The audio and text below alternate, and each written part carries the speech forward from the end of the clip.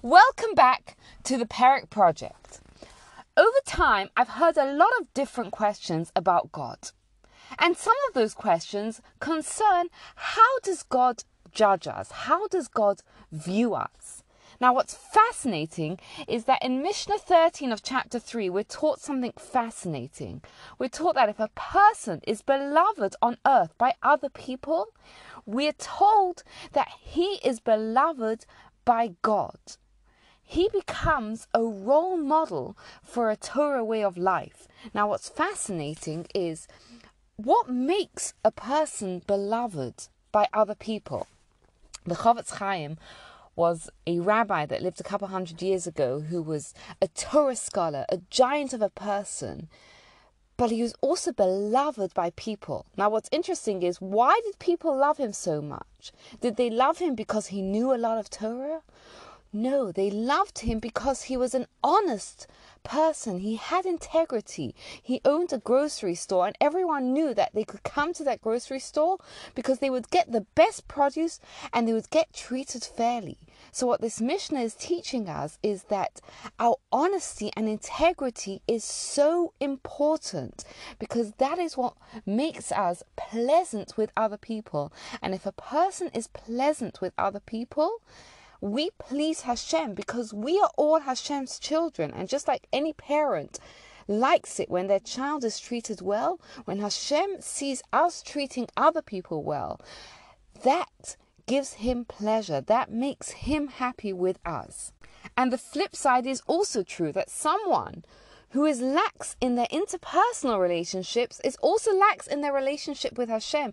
And in fact, we're told that someone who, who hurts another person, whether it's financially or emotionally or any other way, even Yom Kippur, the holiest day of the, the year, doesn't grant them forgiveness unless they have asked the other person for forgiveness first.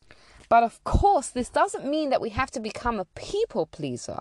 Nobody can stay true to your values and to Hashem's values if they are a people pleaser. Instead, it means that we have to stay true to our values and we have to treat other people with integrity and honesty and with care. And even Mordechai, the uh, of from the Purim story, we're told that he was beloved to most because even though he was a leader of the generation, he was someone who stood true to the to their values, and someone who stands true to the values will be beloved by a lot of people, but not everyone.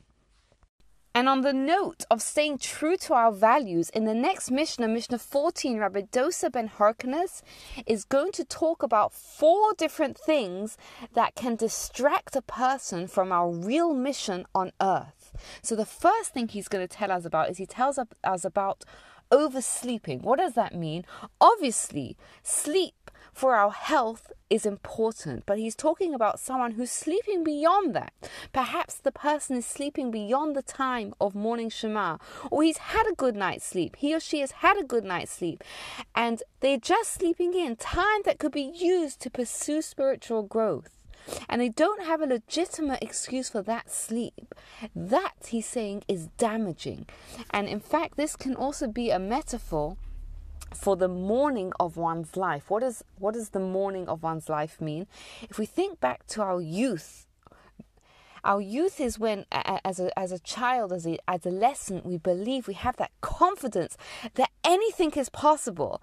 And as much as we can hold on to that as, as we grow up and we get older, is, is great. In fact, our, there's an incredible story told of the Ponevezher rabbi.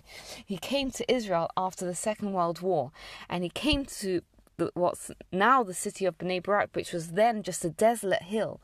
And he turned around and he said, Here we're going to have the greatest, largest yeshiva. And the people that he was with looked at him and they thought, Unfortunately, he must have lost his mind. He's been through so much suffering in the Holocaust. The poor, poor man's lost his mind. And he turned around to them and he says, and they said to him, You're dreaming. And he turned around to them, he says, You're right, I am dreaming, but I'm not asleep. And because he had that vision and that optimism of the, his youth, he made it a reality. And nowadays, Bnei Brak is the teeming city that, that, that it is.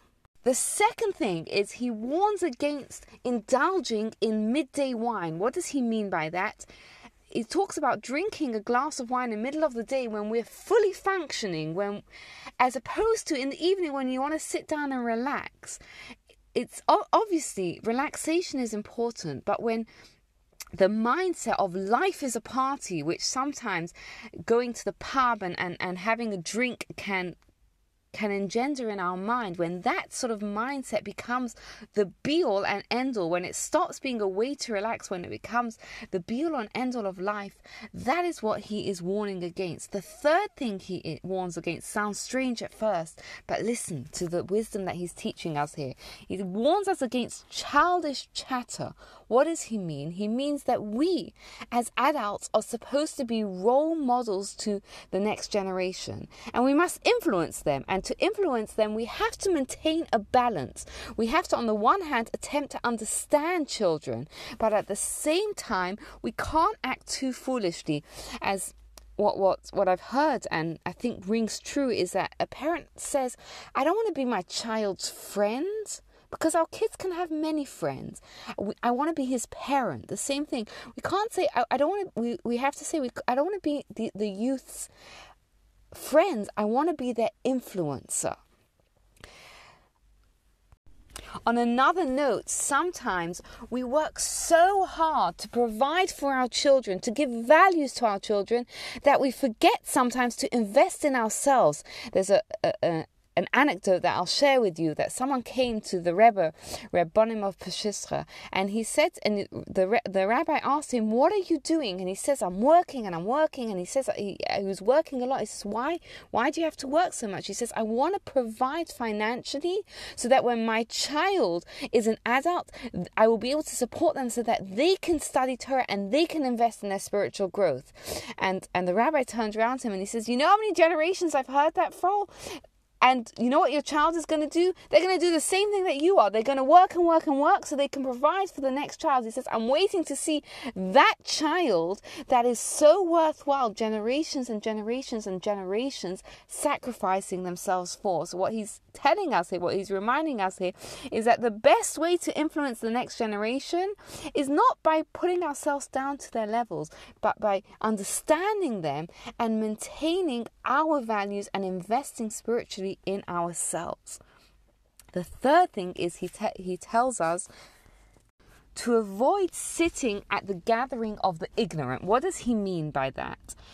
What he's telling us here is that, again, there's nothing wrong with light conversation, but when you have light conversation among people that are spiritually minded, Torah people, their light conversation is still of value. It's refreshing, it's dignified. On the other hand, people that are not that way inclined, that are not necessarily spiritually directed, their light conversation may be about other people. It may involve gossip. It may involve slander. It may involve off color humor. And he's telling us to stay away from this. As, as I, I once saw somewhere written that small people talk about other people. And he's telling us to avoid those sorts of gatherings.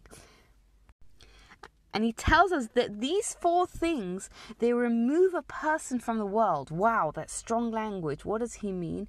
He means it undermines our potential for eternity. Because life is an investment. We have a soul, and every mitzvah that we do, every time we remind ourselves of what we are really here for, of our true value and our, and our true mission, we are investing. We are investing in our soul. We are investing in ourselves. We are investing our, in, in our future generations. We are investing in eternity. And whenever we, we live a life that takes us away from that, then we are squandering that investment. So he's reminding us that life is an investment and we have to use the opportunity to invest in ourselves, in our future generations, and our eternity.